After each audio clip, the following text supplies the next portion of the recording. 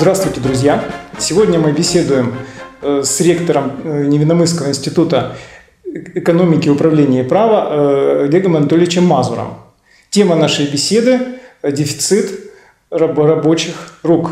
Если это более научно сказать, как правильно будет правильно сформулировать тему, скажите, пожалуйста. Я думаю, что она сформулирует очень просто. Нехватка рабочих в России для развития, для нормального развития производства. В чем причина нехватки рабочих в России? Ну, самое существенное – это в том, что у нас, к сожалению, мало населения. Могут возразить, ну, 142 миллиона человек. Немало. Самая крупная в Европе страна по населению. По территории, само собой, самая крупная в мире. И тут не хватает рабочих. На самом деле, на территории нашей страны нормально могли бы жить более 300 миллионов человек. Недавно а, президент России а, сделал такое замечание, что ли, заявление, что если бы некоторые события в истории, то 500 миллионов человек могли бы жить на территории нашей страны. Правда, он не конкретизировал на территории нашей страны, в смысле России в нынешних границах, Российской Федерации, либо на территории нашей страны, которая была на, э, охватывала всю территорию Советского Союза. Очень спорное, конечно, утверждение о том, что из-за этих исторических событий там э, не 500 миллионов, а 142, или если взять э, со странами, которые входили в Советский Союз, то больше – вот, конечно же, э, не из-за этих событий. Если бы не было Великой Октябрьской революции, не было бы индустриализации, не было бы коллективизации, не встретили бы врага всей мощью социалистической экономики, а, то, скорее всего, вообще могло не быть нашей страны в принципе. И население нашей страны тоже могло не быть. Вторая мировая война все равно была бы, потому что она произошла по причинам империалистических противоречий. И фашизм был бы. А вот отпор такой, как дал Советский Союз, конечно, капиталистическая Россия не смогла бы провести отпор, и победы бы, конечно, не было. Но это вопросы, скажем, истории, так называемые альтернативные истории. А у нас вопрос о численности населения – у нас просто-напросто мало жителей. 142 миллиона человек, ну плюс-минус там по статистике. Это сопоставимо с такими странами, как Пакистан, Бразилия, Индонезия, Вьетнам, которые занимают гораздо меньшую территорию. У нас и огромные территории, огромные задачи по сохранению нашей страны, в том числе от потенциальной внешней агрессии. И Кроме того, экономика может сейчас развиваться при том, что созданы мощные экономические образования э, численностью населения где-то от 300 миллионов и выше. Не случайно страны Европейского э, Содружества, они объединяются, они не внутренние противоречия огромные, но они все равно объединяются. И когда рассказывают о том, что Э, развалится ЕС, ну не развалится. Ну кто-то там, там разные тенденции, там Великобритания отошла, но остальные-то страны остаются. Потому что необходимо не просто рынок там в 300-500 миллионов человек, нужна экономика, единая экономика 300-500 миллионов человек. Почему? Одна из причин, почему Китайская Народная Республика так поднялась экономически, это огромное население. И когда они э, несколько десятилетий тому назад стали ограничивать рождаемость одним человеком в семье, одним ребенком в семье, э, на взгляд уже многих ученых, это была ошибка. Этого нельзя было делать. Сейчас испытывают определенные проблемы серьезные с населением, со старением населения. Экономика способна обеспечить современная экономика, экономика, которая развивается, способна обеспечить еще сотни и сотни миллионов человек. Когда население Земли было 1-2 миллиарда, многие думали, что это там рост дальнейший невозможен, Земля не выдержит. Сейчас 7-8 миллиардов Земля выдерживает. Тяжело, конечно, но при планомерной организации производства, оно бы, э, конечно, бы экономика развивалась а, более экологически, было бы более чистое производство, а, правильное размещение производства. А что самое важное для экономики? Самое важное для экономики – наличие рабочих. И, конечно же, инженеров. Конечно же, и управленцев. Но в основе, ядром, основой экономики являются рабочие. А, идут разные споры. Часто можно услышать такие разговоры обыденные, что нет рабочих в России. Откуда вы там видели? Где вы там видели рабочих?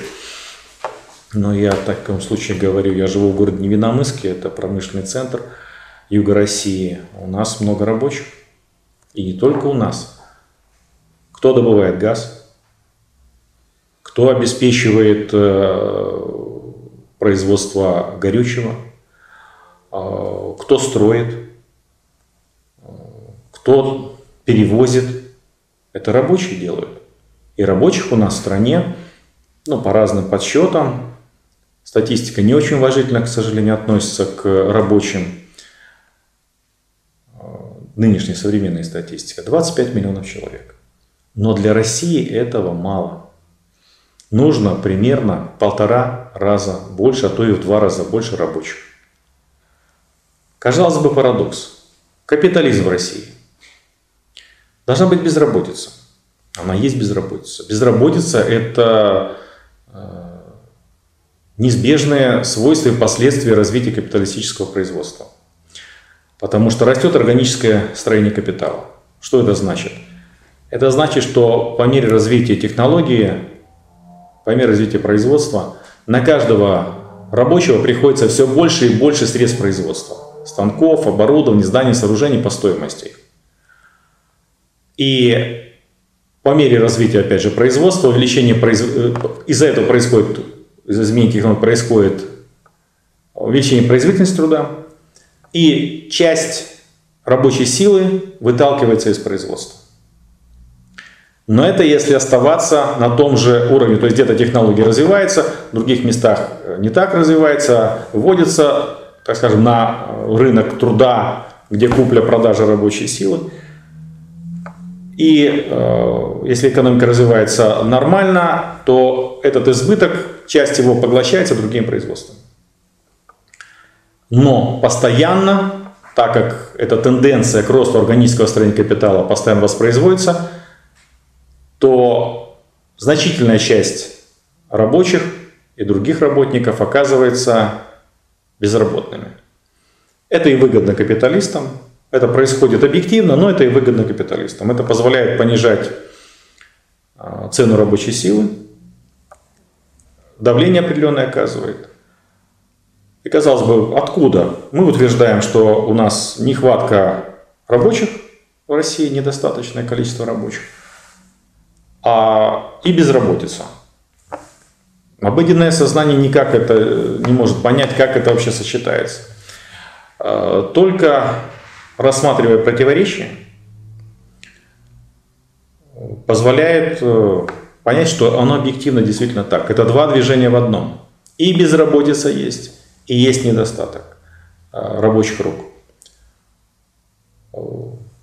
Для развития производства сейчас нужно значительное количество рабочих, которые сконцентрированы в том месте, а, где хотят э, новое производство построить. А в России недостаточно. Разве можно сравнить ситуацию в Китае с э, рабочими, с э, потенциалом получения рабочих рук и в России. Капиталистическая Россия привлекает иностранных инвестиций, это вот э, просто мечта так называемых либералов, это получить много-много инвестиций иностранных. Сравните иностранные инвестиции социалистический Китай и капиталистическую Россию. Учитывая, что даже население в 10 раз отличается, но не в 10 раз меньше в России. В России просто мизер иностранных инвестиций по сравнению с тем, что идут в Китай. Почему? Там есть рабочие руки, там есть рабочие, там идет подготовка рабочих, там серьезный потенциал э, еще получить рабочие руки э, за счет внутренней миграции. У нас такой потенциал очень слабый. Сейчас правильно поставили задачу развития э, востока нашей страны. Эту задачу и раньше ставили. И сейчас ее ставят своеобразным образом. Тот дальневосточный гектар предлагали.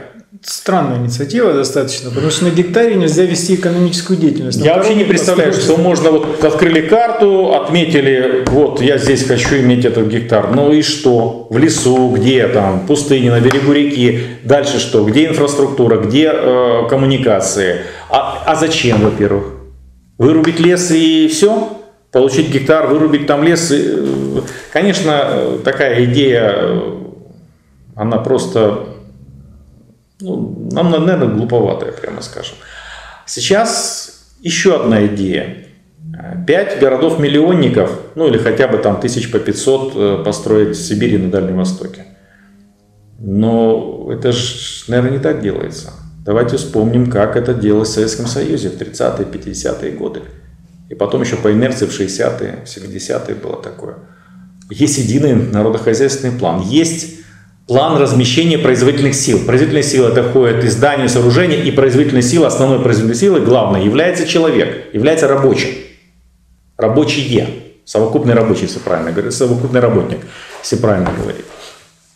И вот был план размещения. Он делался на 20 лет вперед, а то и больше. А так вот поставить города-миллионники рядом с другими городами, попытаться – и туда привлекать какими-то э, печенюшками, чтобы э, приезжали чем-то, ну не получится это без производства. Нужно развивать производство. Хорошо, с этим согласятся почти что все. Развивать производство, а где рабочие для этих производств? Ведь миграция у нас до сих пор продолжается, миграция э, с востока на запад.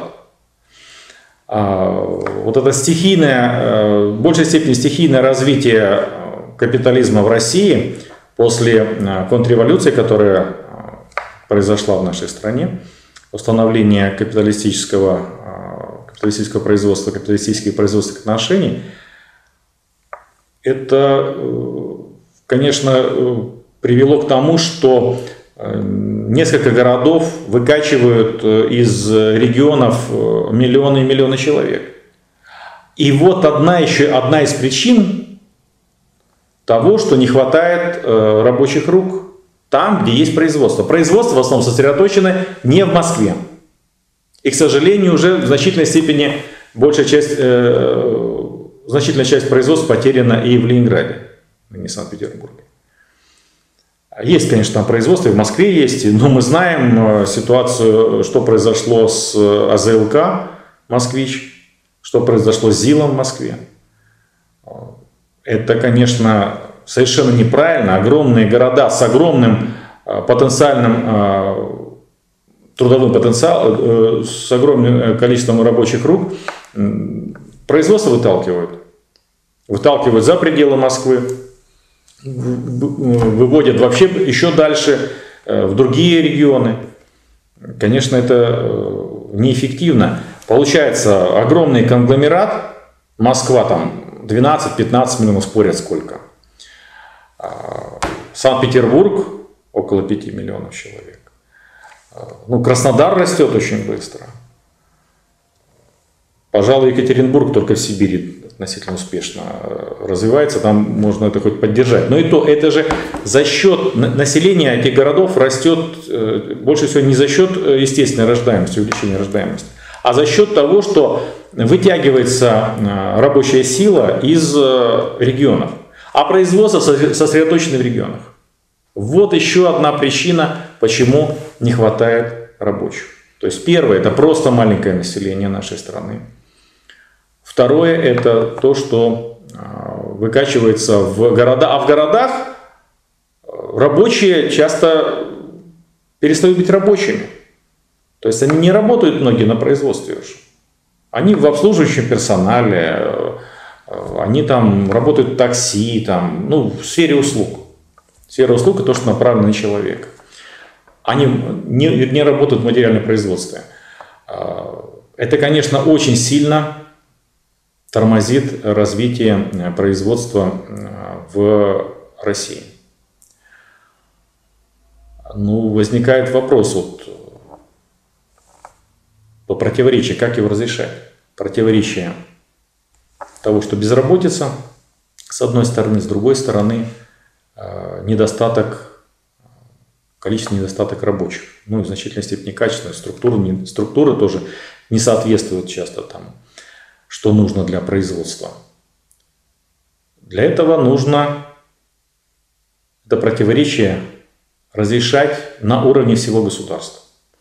Нужна программа развития не просто экономического, а социального развития всей страны. В социальное входит и экономическое.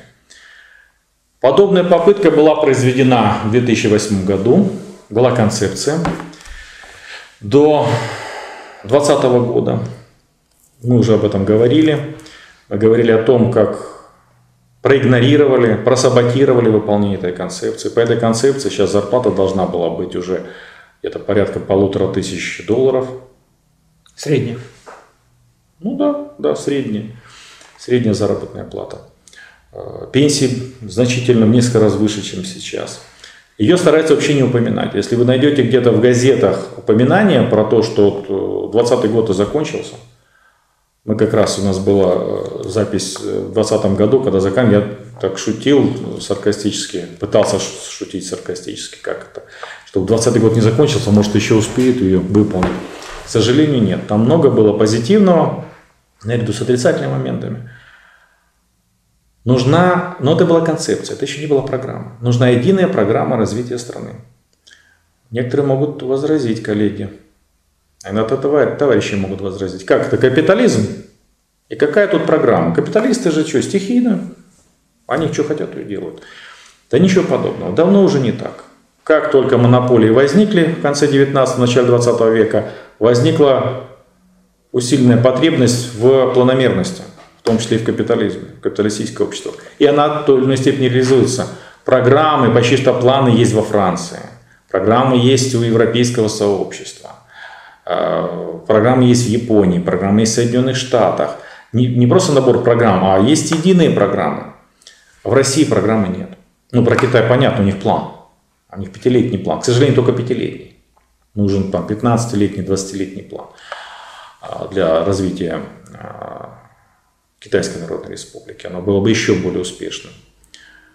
В России нужна долгосрочная программа развития всей страны. В России, по разным данным, от 40 до 60 процентов имущества находится в государственной собственности. Это ли не основание? Если собственность одна, налаживаете не то что программирование, налаживаете планирование. И тогда у вас будут успехи и с перемещением производительных сил, и с созданием э, предприятий. К сожалению, еще идеология нашего, э, наших капиталистов такова, на уровне всего класса капиталистов, что она преимущество, преимущественно э, против этого. Она считает, что рынок все порешит. Ну, как уже... Порешит. Не порешает, а порешит. Да, это, это шутка уже известная, да, это многие уже так шутят, что порешил, уже много что порешил. То есть нужна программа, ее пока не делают, эту программу. То есть у нас класс капиталистов к этому еще не созрел, к сожалению. То есть там много умных людей в, среди капиталистов, но их цель – это максимизация своего капитала. Она не ставит цель развития страны, а э, должна быть единая воля всего класса капиталистов на развитие страны. К этому подталкивают нас внешние обстоятельства. Конфликт э, с э, центром империализма Соединенными Штатами. То есть наш класс капиталистов уже много что осознал. Уже понял, что либо он будет, верхушка его будет просто-напросто перестанет быть капиталистами, либо, не дай бог, там, ну, уничтожено будет физически. И до этого может дойти, если будет поражение серьезное.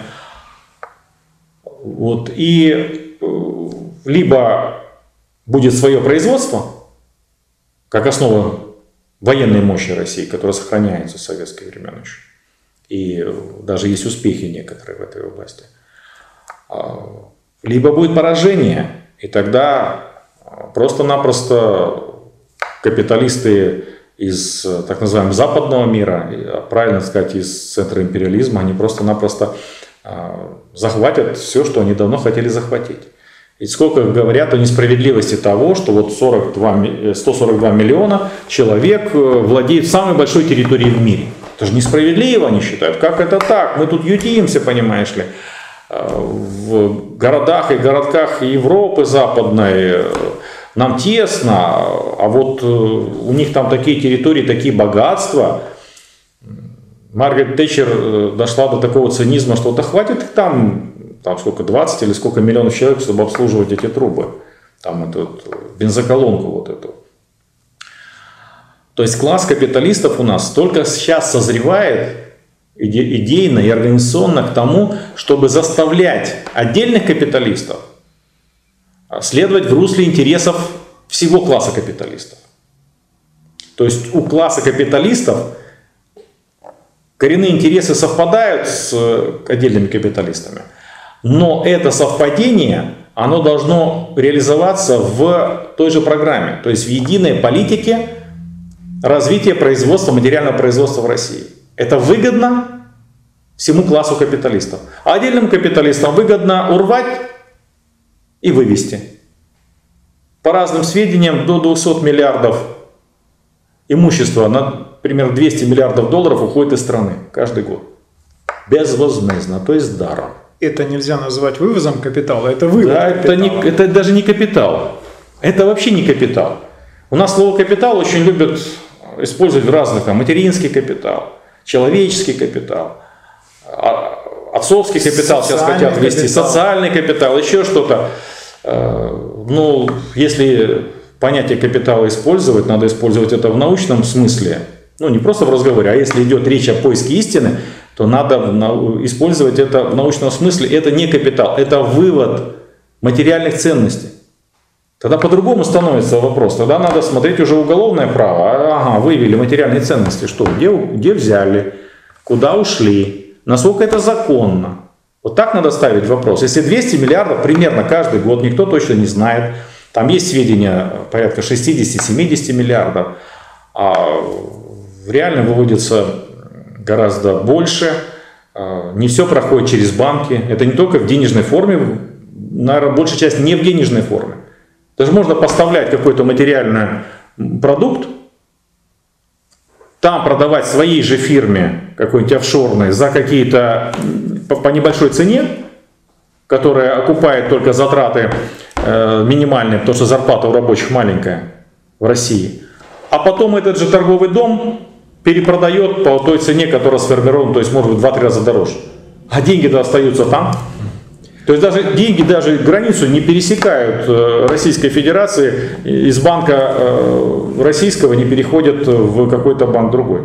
Хотя есть и прямые, прямые э, переводы денег, и у нас очень либеральное здесь законодательство, пытаются сделать по-другому, но мы говорим сейчас прежде всего о том, что не хватает рабочих в России.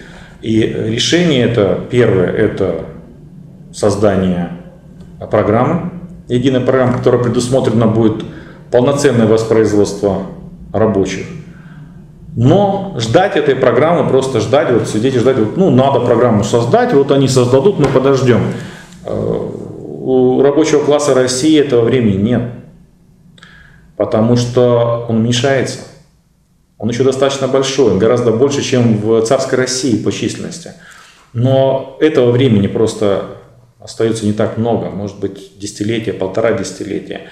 До того времени, когда э, эти процессы уже труднее будет, э, труднее будет восстанавливать рабочий, э, рабочий класс России. То есть основная надежда на то, что сами рабочие организуются. Давайте посмотрим на этот вопрос с позиции рабочего. Что волнует рабочего? Его волнует зарплата, условия труда, продолжительность рабочего времени и, э, скажем так, социальные э, блага вокруг его семьи. Ну, если взять совсем так вот, самого обычного простого рабочего. Мы видим сейчас, что заработная плата у нас, по крайней мере в промышленности, приблизилась к порогу выживаемости человека, либо его семьи. Да? То есть мечта капиталистов, чтобы платить людям столько, mm-hmm. чтобы они просто не умерли с голоду, да, она у нас сейчас воплощается на глазах. А, то есть зарплаты традиционно невысокие в России, а сейчас уже, в общем-то, упали до вообще каких-то там нижайших пределов. Второй вопрос э, – работа. То есть э, российские рабочие работают больше своих товарищей в Европе, да уже и в Азии, наверное, во многих. То есть у нас переработки – это как бы обыденность. Да. Люди вынуждены выходить на подработки, идти таксовать каким-то образом. 9,5 часов. 9, это только на основной Вместо работе. 8. На основной работе, да. да. А да, еще да, есть шабашки, а еще есть выходные, когда люди Вторая работа. Да.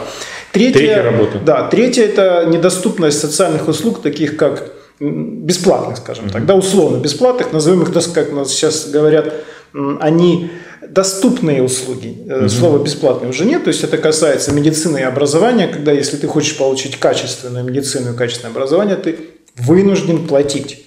Соответственно, э, рабочий оказывается в ситуации того, что какой смысл ему работать, когда скоро э, проезд будет, как денег на проезд будет доходить больше, чем, на, чем его зарплата. Величина заработной платы – это ключевой момент но вы с точки зрения отдельного рабочего. Да, вот посмотрим но с позиции. То, что вы назвали да. с этой позиции, оно во многом совпадает с коренными интересами всего рабочего класса. Да.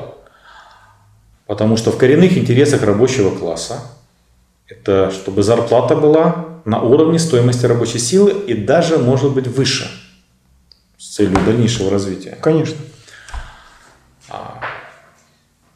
Для многих это непонятно, в чем здесь разница вообще? Заработная плата и стоимость рабочей силы. Стоимость рабочей силы, она, если правильно ее считать, туда надо включить все, что необходимо для нормального воспроизводства рабочего. В широком смысле этого слова. Рождение детей не менее трех человек. Потому что два человека не восстанавливают э, полностью э, народонаселения страны. То есть трое детей. Многие товарищи посчитали эти цифры приблизительно. Это ясно, что это денежная оценка э, стоимости рабочей силы. Стоимость ее невозможно посчитать в рублях. Стоимость это затраты труда, которые необходимы для полноценного воспроизводства рабочих. Ну посчитали в денежной форме, это приблизительные подсчеты но от регионов зависит, конечно, как. Но суммы все давно за 100 тысяч рублей. 150 тысяч рублей. В больших городах, где дорогое жилье, далеко за 200 тысяч рублей. И сразу начинают, а как это не может быть? Обыватель что сразу скажет? Да ну, это же нереально, это ж сколько это много, это ж получают 40, а считают там на 200 насчитали. Да, возьмите, посчитайте. А, на сайте Фонда Рабочей Академии эти подсчеты есть. Покритикуйте, посмотрите. Если взять одно жилье, это уже не меньше 70 тысяч, если город э, средней величины. Ипотеч... Не меньше 70 тысяч в месяц. Ипотечный кредит. Ипотечный да. кредит, да. Потому что ипотека – это купи одну квартиру по цене двух, а может быть уже и трех. 20 лет будешь работать на этот банк, да. по сути дела. То есть кто-то из банкиров себе еще две квартиры может спокойно купить, пока ты покупаешь эту одну квартиру. Автомобиль. Там сейчас цены вообще взлетели. То есть просто миллион. Бюджетный просто класс. Это миллион, обычный да. самый автомобиль, самый элементарный гидроусилитель, э, механическая коробка передач отечественного производства. Это уже миллион. Да. Вы, опять же, опять же, кредит? Автокредит. Автокредит. То есть, если отдых, платное образование, платная медицина, посчитать это, уже э, товарищи многие посчитали, Это действительно за 150 и более тысяч рублей в месяц каждый. Да. То есть и муж, и жена. Вдвоем должны Вдвоем, работать, да. каждый по 150. И что интересно, когда а, разные социологические фирмы а, проводят опросы по ожиданиям по зарплате, какие бы хотели зарплаты, по желаниям, вы знаете, да, приближаются цифры к этим величинам. Это не потому, что кто-то жадный, а потому что это реальный расчет. Реальный расчет того, что необходимо человек. Почему могут жить а, на меньшие деньги? Ну, потому что есть квартиры бабушкины, дедушкины, в наследство, э, старые квартиры, старый фонд, который нуждается вообще, в- часто ветхий фонд. Люди живут переуплотненно, рабочие многие живут в общежитиях, ездят на вахты, то есть там у них свое служебное жилье в виде там вагончиков или еще каких-то э, довольно-таки э, недорог- недорогого жилья явно. По 5-7 человек э, в одной квартире маленькой живут, э, когда на вахты ездят. Или вообще в, каких-то служебных помещениях такого типа вагончики. Э, И сейчас какая средняя заработная плата? Ну, по стране посчитали 51 тысяча рублей. Да, это последние данные, да. Да, 51 с небольшим, 51,4. Э, Посчитали э, по э, большему кругу тех, кто работает. То есть взяли примерно оценку по тому кругу, который не фиксирует статистика. С серыми, черными зарплатами прикинули. 42 тысячи рублей. Взяли, ну, 42, ну, тоже вроде народ не верит, потому что многие получают меньше. Взяли такую, пошли на очередную хитрость. Посчитали медианную Медианная заработную зарплата, да. Да, медианная. Народ сразу напугали Слово. термином медианная. На самом деле э, понять здесь несложно. Это медианная зарплата. Это означает, что 50% работников получают меньше этой суммы, а 50% работников получают больше этой суммы. Она оказалась меньше, 32 тысячи рублей. А почему теперь медианная? Раньше считали раз в два года, теперь будут считать каждый квартал. А почему? Да потому что от этого сейчас будет зависеть величина прожиточного минимума. Раньше считали минимальную заработную плату натуральным образом, то есть посчитали, сколько там норма носков, э, сапог, э, питание, причем очень все это настолько, когда список это публиковали, конечно, нищенский список, просто э, ниже, ну, действительно, это не бедность, нищета, вот если это минимальная заработная плата. А Теперь 32 тысячи – это медиа- медианная заработная плата. Это уже ближе немножко к, к реальности. Если не брать э, большие города, это где-то, но тоже не все получают. В чем причина? Причина, ну, любой скажет, это жадность капиталиста. Ну, Да, В том числе. но это но не глубинная причина. Жадность капиталиста была всегда и будет всегда. А, Эту жадность можно тоже ограничить, может ограничивать кто? Правительство, государство, тоже буржуазное, но оно в этом не думаю, что преуспеет. А второй, кто может это ограничить, только организованные рабочие. Трудовой коллектив. Получается, организованные рабочие. Я вот на этом настаиваю, что именно организованные рабочие. Трудовой коллектив директоров входит в трудовой коллектив. Замдиректора входит трудовой коллектив. Ну, тоже входят же. Потому что они тоже трудятся. Нельзя сказать, что директора не трудятся. Причем многие директора хорошо работают, развивают производство. Есть очень достойные кадры в России. У нас всегда было в России много умных руководителей. А, Но всегда недостаток этого. Умных много, разумных мало. Умный это тот, кто умеет э, ставить решать задачи, а разумный тот, кто способен э, стремиться и способен найти истину и воспользовавшись этой, этим знанием, э, развивать себя, развивать других. То есть ум и разум это не одно и то же. То есть умных много, разумных мало. Раньше я полагал, что можно убедить как-то. Вот написал целую монографию в свое время. Да. В этой монографии я ее полистал в подготовке к сегодняшней беседе и нашел страницы. Эта монография написана в девятом году, издана Санкт-Петербургским государственным университетом. А написана она раньше, естественно, это она издана, напечатана. Вот открываю ну, 113 страницу. Более существенным фактором роста заработной платы становится обостряющийся дефицит квалифицированной рабочей силы, особенно непосредственных производителей, ну то есть рабочих. И вот таких я посмотрел, у меня о дефиците рабочей силы, но очень много написано. И ни у одного, только лишь э, меня это написано. То есть уже тогда, а, в прошлом десятилетии, уже позапрошлом десятилетии, а, некоторые ученые четко понимали, что в России не хватает рабочих.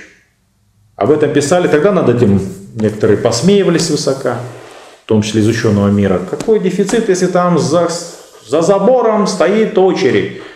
А сейчас видят, нет очереди. У нас тут несколько предприятий рядом. Вот, э, птицекомбинат. Раньше никогда на баннерах не видел, что требуются рабочие и другие работники. Сейчас баннеры вывешивают. Вывешивают баннеры 6 на 3. Требуются рабочие, требуются рабочие. Конечно, под этим давлением дефицита рабочей силы, конечно, несколько поднимается заработная плата. Но она поднимается где-то в пределах инфляции, не более того. Чтобы реально выходить на те величины, которые обеспечивают нормальное воспроизводство рабочей силы, нормальное развитие работника, опять же, как римляне говорили, Карфаген должен быть разрушен. Вот так я без конца повторяю, не только я, но и наши товарищи. Повторяю до тех пор, пока э, это не будет воспринято значительной частью рабочих. Только от организации рабочих зависит реальный уровень заработной платы. Есть успехи определенные, их не так много, но они четко доказывают, что иногда в 2-3 раза поднимается заработная плата. Есть эти ресурсы. Если есть 200 миллиардов долларов, которые, имущество на 200, на 200 миллиардов долларов, которые выводятся из страны, если многие капиталисты и их приспешники, а, там всякие э, так называемые звездочки и так далее, и так далее, а, имеют миллионы и миллионы долларов, э, не прилагая к этому особых усилий, просто получая это ввиду каких-то обстоятельств, э, там, либо наследования, либо э, кто там прославился в, в интернете. Эти, эти средства, значит, есть. Да. И чем больше останется у рабочих, чем больше рабочие завоюют, Тут надо говорить уже о завоевании заработной платы. Э, мы красиво рассказываем про коллективный договор, что необходим коллективный договор, что это, это правильно совершенно. Но за это надо бороться. И никто эту, эту задачу, никто, кроме рабочих, не выполнил. Помогать рабочим готовы те интеллигенты, которые стоят на позициях рабочего класса. Помогать, ну как помогать? Рекомендациями, советами, где-то в организации помочь. Но за рабочих никто этого не сделает. Я вот задумался несколько лет тому назад, а почему рабочий класс в России так медленно организуется? Почему? И действительно, вот сейчас организация рабочего класса России отстает от организации рабочего класса в Казахстане. Ну вот э, западноевропейская организация рабочего класса, ну точно, отстаем давно уже. Почему западноевропейским? Довольно понятно. Там не было расслабляющего влияния КПСС в свое время. Ведь в свое время, ну, КПСС в значительной степени все-таки э, уважительно относились к рабочим. Заработная плата рабочего в советское время, даже в поздний период, э, она сопоставима заработной платой главного инженера. Квалифицированный рабочий мог получать столько же, иногда и больше. И многие очень э, люди, которые способны к образованию, не шли дальше учиться, заканчивали ПТУ, техникум заканчивали, шли в рабочие, получали квалификацию, замечательно работали. Э, заработная плата была 350-400 рублей, ну, у директора 350-400. То есть, э, то есть не надо было бороться. И настолько Это расслабило организацию рабочего класса. Профсоюзы настолько привыкли быть под а, партией и под директором, что эта тенденция продолжается до сих пор. Это не психологическая причина, а причина в данном случае объективная. Рабочий класс России, который совершил первую в мире успешную коммунистическую революцию, который построил, создал первое в мире коммунистическое общество, первой фазе его развития, то есть в фазе социализма, это рабочий класс, точнее говоря, потомки этого, этих тех рабочих, которые эти великие, отстояли, отстояли родину, наши великие предки, в большинстве своем это рабочие и э, колхозники – уже нельзя назвать крестьяне даже, колхозники, тоже рабочие. Сельхозрабочие. Сельхозрабочие, которые работали в колхозе. Отстояли нашу родину, спасли э, родину, дали возможность нам просто родиться и жить, нашим отцам, матерям, и нам, значит. А вот э, потомки рабочих, то, что там прикаю рабочих, что-то, я говорю о факте. Настолько оказались дезорганизованы, настолько оказались подавлены этой контрреволюцией, в том числе и психологически. Ведь некоторые отряды рабочего класса России поддерживали капиталистов, тех, кто контрреволюционеров, точнее говоря, контрреволюционеров поддерживали, касками стучали на известном мостике за Ельцина. Как польские рабочие в солидарности поддерживали реставрацию капитализма, так и Э, часть э, рабочего класса России поддерживала восстановление капитализма. Это же просто трагическая ошибка, если мягко говоря. И, конечно, потом период действительно с большой безработицей, с огромной инфляцией. Это, разумеется, подавляет волю. Должно пройти определенное время. И не только время, должно, может быть, э, постепенно это и э, забыться, это поражение. Не в смысле забыть поражение, а вот э, психологически от этого отойти. И эта организация постепенно происходит. Она может незаметно тем, кто не занимается этими процессами, а те, кто изучает эти процессы, видят, что рабочие постепенно организуются. И, конечно же, нужно, надо пройти через самые, может быть, примитивные формы борьбы экономической. Потом на основе этих примитивных форм развить более э, такие передовые формы в виде заключения коллективного договора, который выгоден э, рабочим на данном предприятии и другим работникам. И затем уже следующим этапом сорганизовываться рабочим в объединение э, рабочих, то есть делегировать представителей трудовых коллективов в, в организации, которые наши предки а, великие создали, эту организацию, это называется Советы. И по мере нарастания этого, конечно, это будет э, все больше и больше успехов. И наш класс капиталистов, он тоже своеобразный. Он тоже пережил эту родовую, э, родовую травму, можно сказать, э, реставрации капитализма. Он тоже не, тот, не те капиталисты, которые на Западе. Они знают о революции очень неплохо. Они знают о мощи рабочего класса, когда он соорганизовывается. И наверняка пойдут на многие уступки для того, чтобы только сохраниться. Самый разумный из них мог бы стать на сторону рабочего класса. Ведь рабочего класса все равно 25 миллионов. Сколько у нас капиталистов? Я не говорю мелкий предприниматель, индивидуальный предприниматель. Это мелкая буржуазия. А возможен и э, тактический союз с мелкой буржуазией. Ну, это было. Рабочий класс только с мелкой буржуазией вместе, то есть с крестьянством, которое там было, это мелкая буржуазия в России. Э, победили в гражданской войне и строили социализм. То есть именно организация рабочего класса, она неизбежно приведет. Вопрос когда и вопрос как. На самом деле у России два пути. Один путь нынешний, который сейчас идет, такого стихийного, большей частью стихийного развития. Есть моменты, конечно, уже и сейчас моменты планомерности.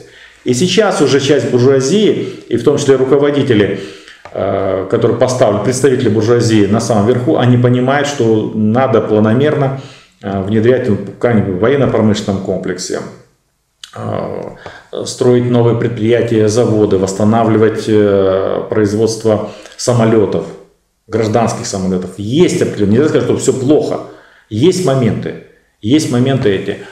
Но только организация рабочего класса вначале в экономической борьбе на своем предприятии за свою зарплату и за условия труда.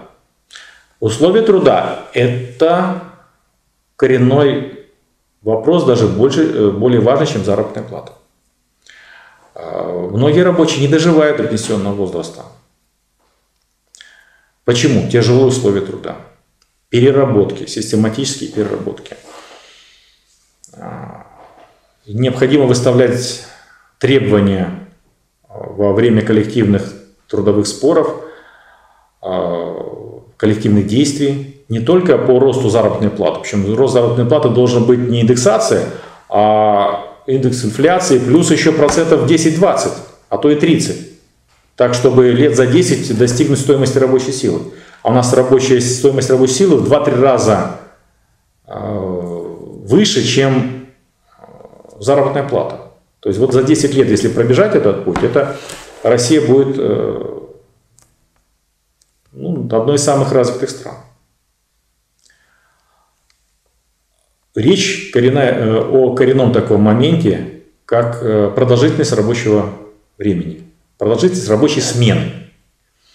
Сейчас официально у нас 40 часов в неделю.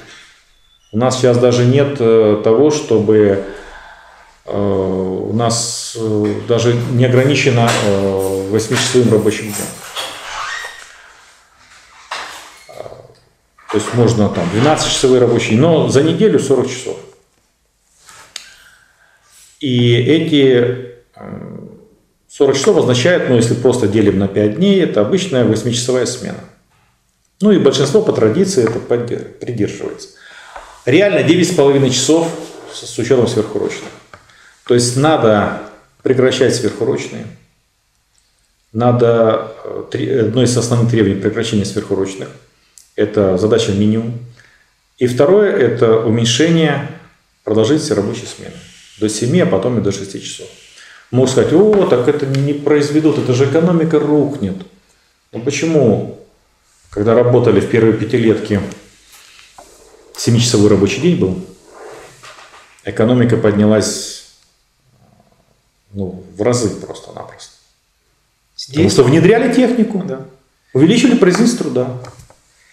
И здесь э, мы подходим к вопросу производительности труда, коренному да. вопросу, который связан и с продолжительностью рабочего времени, и да. с заработной платой. Потому что, скажем так, буржуазная пропаганда многие десятилетия рассказывает тому же российскому рабочему о том, что ты получаешь мало, потому что ты, ты, ты плохо не, работаешь. Плохо работаешь, у тебя низкая производительность. Да. да, вот что, э, и как будто в этом виноват рабочий, ведь на экономических форумах я частенько слышу, mm-hmm. когда капиталисты выходят и говорят, ну, ходите вы зарплату, mm-hmm. а вот у вас низкая производительность труда. А разве это задача рабочего увеличивать свою производительность труда? Ведь это задача работодателя, ну, работа взять. Капиталиста. Да, капиталиста. Да, это э, вопрос очень существенный. За столетие примерно, я прикидывал по статистике, в России производительность труда увеличилась в 100 раз. Сто раз. При том, что войны были, гражданская война, отечественная война, контрреволюция. А продолжительность рабочего времени увеличилась. То есть была 8-часовая смена установлена рабочими, явочным порядком после февральской революции рабочие Петрограда установили 8 часов. Потом декретом большевики установили 8-часовой рабочий день. Потом 7-часовой рабочий день. Но, правда, 6 э, дней в неделю работали. А сейчас 9,5 часов на одной работе. Получается, в 100 раз производительность возросла, работают больше по времени. Это получается весь эффект достался капиталистам. В виде прибавочной стоимости? Да, то есть прибавочная стоимость возросла неизмеримо, э, неизмеримо просто не, больше, чем в 100 раз, это точно. А, примерно за 40 минут а, современный российский рабочий вырабатывает столько продукции, которая соответствует его заработной плате. За 40 минут остальные 9 почти что 9, э, остальные почти что 9 часов, ну 8 с небольшим, он работает чистую на капиталиста. Я вам скажу, с точки зрения производства прибавочной стоимости это сверхпроизводительно. То есть российский рабочий один из самых производительных рабочих с точки зрения производства прибавочной стоимости в форме прибыли, в других формах для капиталистов. Поэтому не случайно многие капиталисты здесь имеют предприятия, живут за рубежом, сюда приезжают как на своеобразную вахту. Только такая, не в, не в, не в щитовом домике, не в вагончике, там в других ипостасях, где-нибудь там на Рублевке или еще где-нибудь, они вахту свою проводят. Потом уезжают опять. Многие из их э, близких родственников уже там. То есть э, на самом деле э, с точки зрения технологической, да, производительность многих наших производств ниже, чем в наиболее развитых странах. И уже ниже, чем в Китае. А с точки зрения производства прибавочной стоимости, с точки зрения нормы эксплуатации, одна из самых высоких норм эксплуатации, если не брать самые слаборазвитые страны Африки и Азии типа Бангладеш, ну, там, не знаю, Конго, других стран, самых таких экваториальных стран Африки.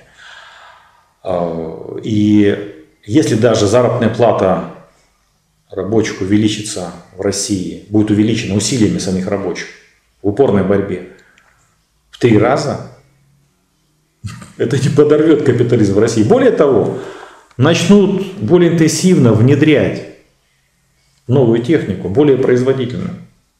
Сейчас еще один миф э, создан, что будет робототехника, и там всех там рабочие не нужны почти что будут. Что заменят роботы, куда девать этих рабочих? А что за проблема? А почему разум наших капиталистов и их идеологов не дойдет до, не разум, а ум, не дойдет до того, чтобы быть разумными? Ну, внедряйте робототехнику. У вас три смены по 8 часов. Ну, например, на конвейере там робототехника внедряется по производству автомобилей, да? Часть да. там покраска, там сборка уже. Но сделайте 4 смены по 6 часов. Рабочий будет меньше уставать. Он будет более здоровым. Он будет реже болеть. Он будет с большим интересом э, относиться к работе. Будет определенное внедрение предложения от рабочих за 6 часов. А пусть он час поучится, вот 6 часов, но в час он еще поучится э, методом э, более современных различных навыков работы, навыков управления бригадой, взаимодействия в коллективе. Почему этого не сделать? навыков работы в профсоюзе. Ну, это сами рабочие, понятно, капиталист этого не даст такой возможности. Но 6 часов работаешь, час-два э, занимаешься собственным развитием прямо на, на, на производстве э, вместе со своими товарищами. В конце, да, в конце концов может упасть интенсивность труда. Это же просто... Она может даже возрасти. Если работаешь 8 часов, интенсивность труда ну, невозможно выдержать. Интенсивность труда – это количество энергии, которое тратится в единицу времени во время трудового процесса. А, за, а когда работаешь 6 часов, даже где-то интенсивность труда может быть повышена без ущерба для здоровья. Ну, какие-то моменты. То есть 6 часов, потом он там отдыхает э, рабочий. А если потом будет 4 часа? Говорит, робототехника везде заменит. Некуда будет девать работу. А зачем толпы миллионов недовольных, которых выгнали с работы роботы? Зачем? Сделайте 4 часа. И этот человек за 4 часа произведет вам через некоторое время столько, сколько он произвел за 8 часов. Тут же рядом роботы, но роботы, ну это просто глупо, что они там все позаменяют. Роботов надо обслуживать, роботов нужно собирать. Производить. И, и да, ну, соответственно, и производить. Кстати говоря, робототехника, она часто не самая эффективная в производстве. Автоматизация задолго до робототехники была. Те же роторные линии, на которых производили патроны, они же сотни тысяч раз были эффективнее, чем производство штучное. На это можно в ответ сказать, что развитие нейросетей и искусственного интеллекта, так называемого, скоро приведет к отмиранию профессии арт-директора да, и приведет к, отсу к отсутствию необходимости капиталиста, что если не Нет, так... я, я думаю, что автоматически это никак не получится. Никаких профессий, я думаю, э, мир движется путем усложнения. И э, книга не вытеснила Кино не вытеснило театр, телевидение не вытеснило полностью кино, интернет э, не полностью вытеснит э, э, тоже телевидение. Он не вытеснил ничего. Нет, нет ну где-то замещается какие-то развитие не идет так нет. Сейчас, да, есть попытка создать такие теории, во многом наивные, но так красиво изображенные, что будет такое развитие, что просто рабочих не будет, на производстве, ну и тогда эксплуатации не будет. Все, никаких рабочих. На самом деле рабочие будут всегда. Пока будет человечество, будут рабочие. Но одно дело рабочий, который одновременно занимается и физическим, и интеллектуальным трудом.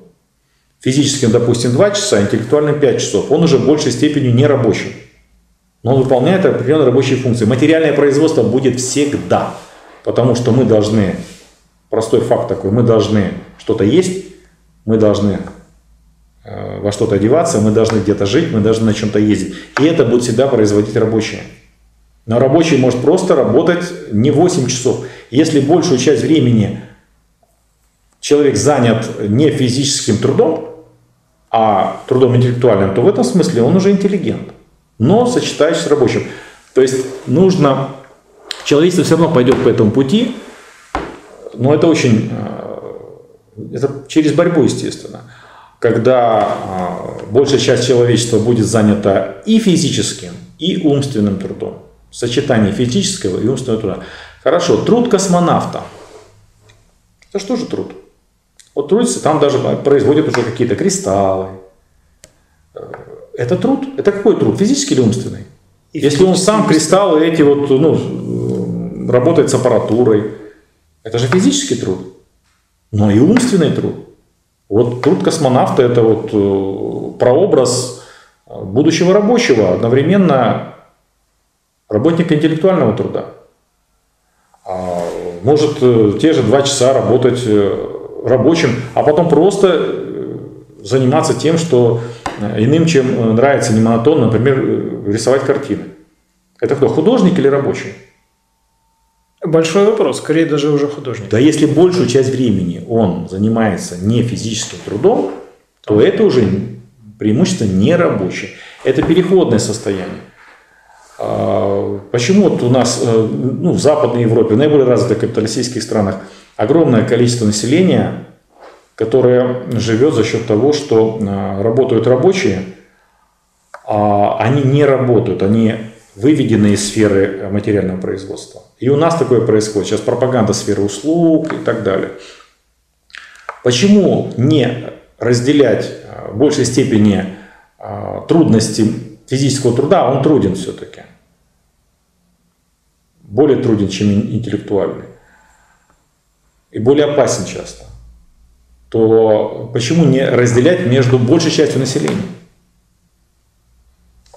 Это было бы Если, справедливо. Тем более, это вопрос не даже не справедливости, а вопрос эффективности. Если человек работает 3 часа в день, пришел, поработал на станке 3 часа в день, то он это сделает без особого ущерба для своего здоровья. А если это находится еще в какой-то вредной, все равно будет вредное производство. Всегда будет вредное производство. Одно дело 3 часа поработал в вредном производстве, другое дело 9,5 часов работал в вредном производстве. Или смены сейчас установили, у нас на заводе установили 12-часовые э, смены. Ну там, понятно, с соблюдением там, того, что 40 э, часов в неделю, но 12 часов смена, так 12 часов находиться в условиях химического производства. Плюс туда пока приехал, пока, переоде, пока э, переоделся, потом уехал, все 13 часов. Это же, это же для организма плохо.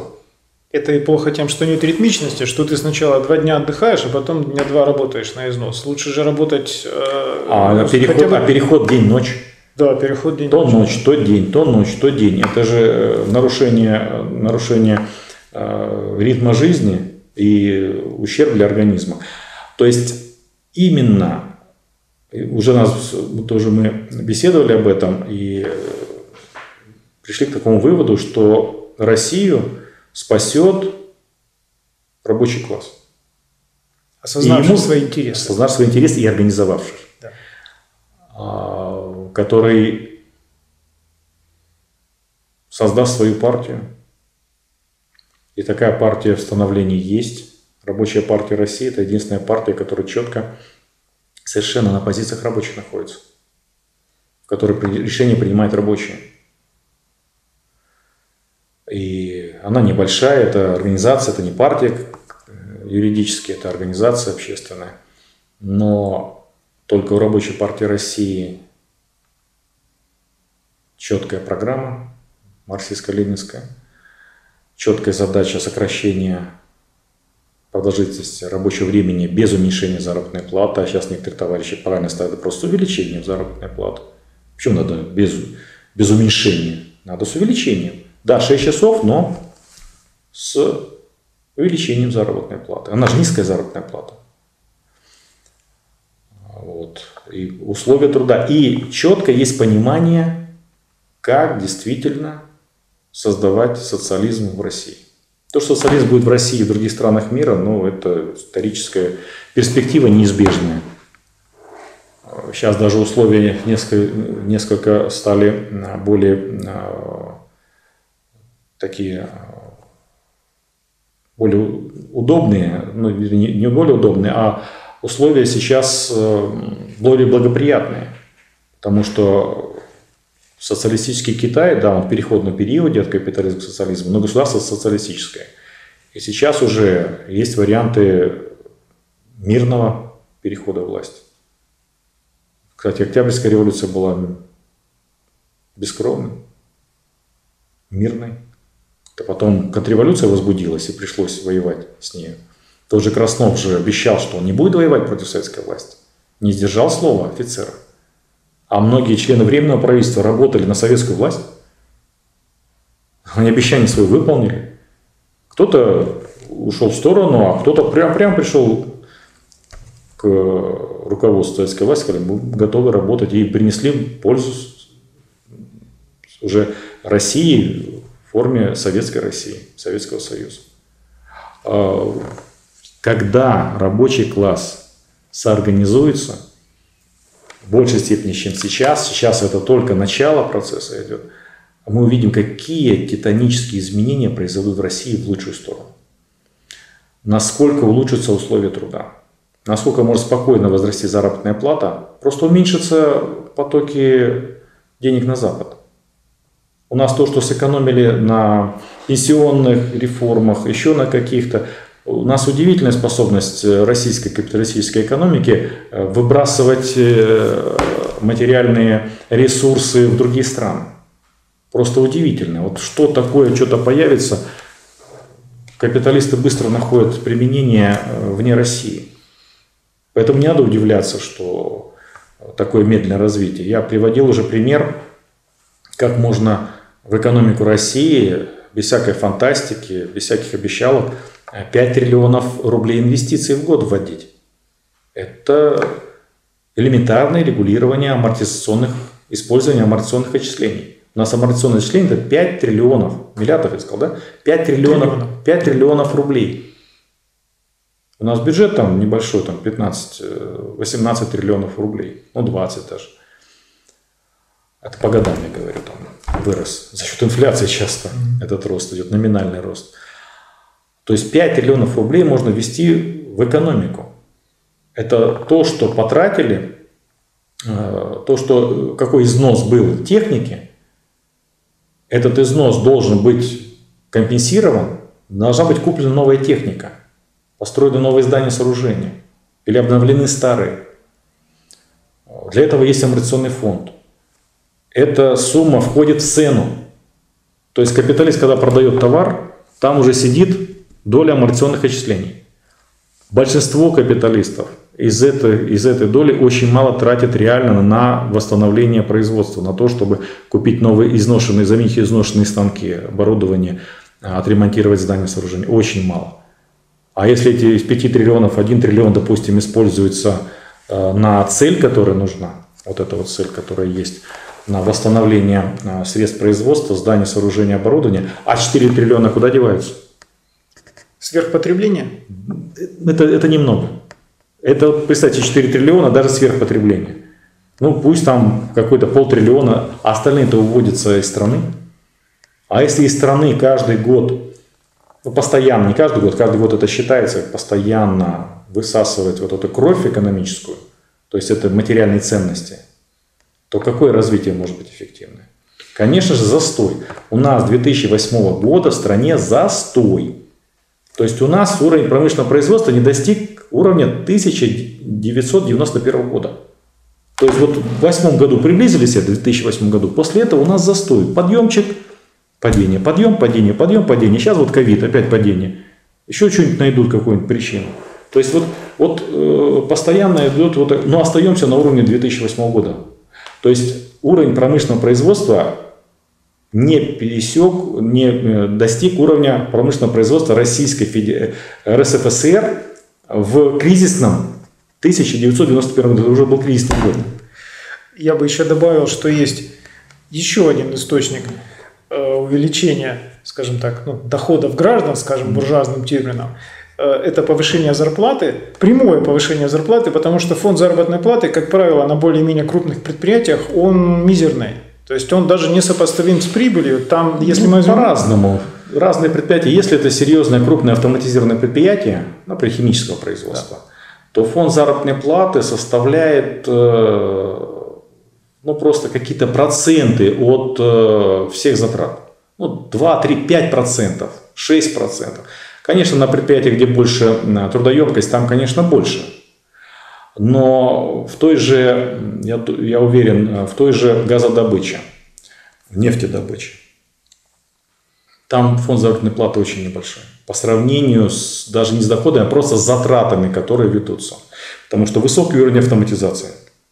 И трубопровод, все, он автоматически движется, газ автоматически движется, движется нефть. А, да, конечно, ресурс, вот ресурс, когда говорят денег нет, это вранье. 99 случаях из 100 деньги есть. Они часто не в России, но рабочее движение может заставить реально произвести репатриацию средств в Россию. Вот наше государство не может это сделать. Создали какие-то офшорные зоны в Калининграде на Дальнем Востоке. Не знаю, как там успехи, пока что-то не очень про это слышно. А, может, кто-то и перевел туда свои, тоже офшор, то есть безналоговые а, вот рабочий класс, заставив увеличивать в борьбе, естественно, себе заработную плату, он заставит даже те денежки, которые там лежат, сюда часть вернуть. Потому что нужно платить заработную плату, нужно сохранять производство. А прибыль, они все равно, капиталисты будут получать прибыль.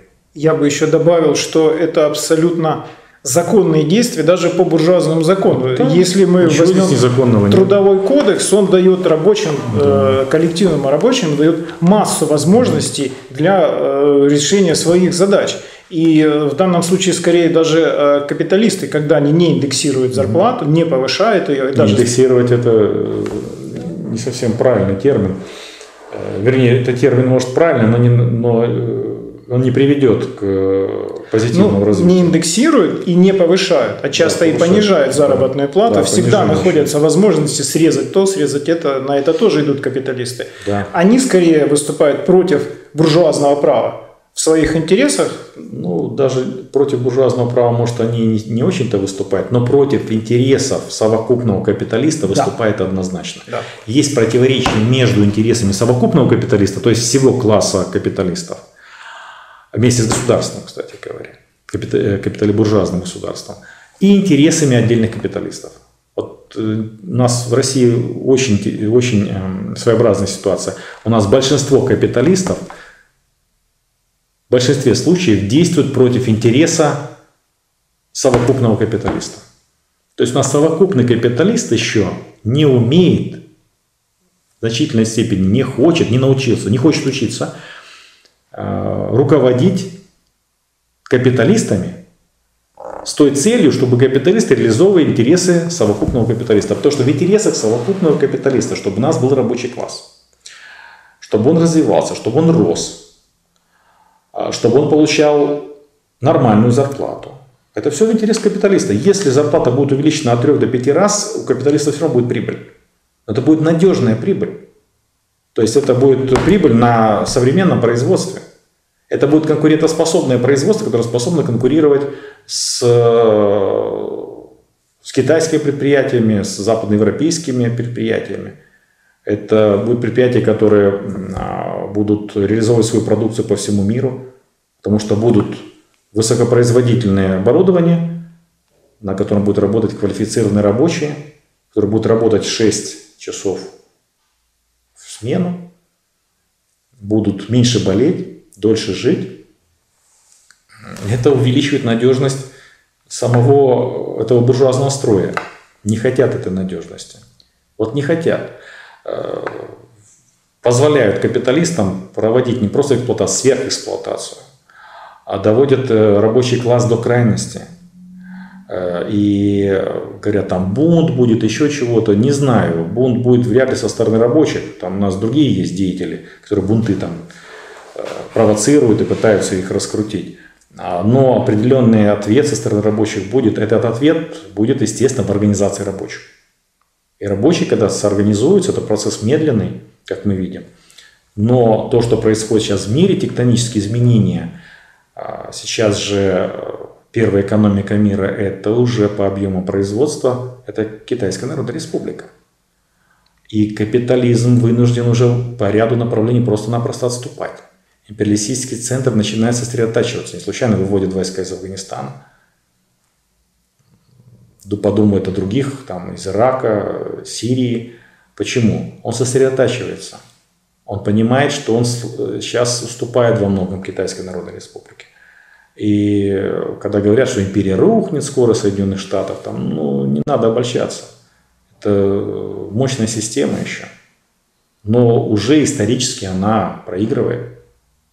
И в этих условиях, когда меняется так тектонический мир, когда страна социализма, и не только Китай, Вьетнам, и держится Корейская Народно-Демократическая Республика, и маленький Лаос, и Куба со своими проблемами тоже держится. По крайней мере, пока я уверен, что Китайская Народная Республика помогает Кубе.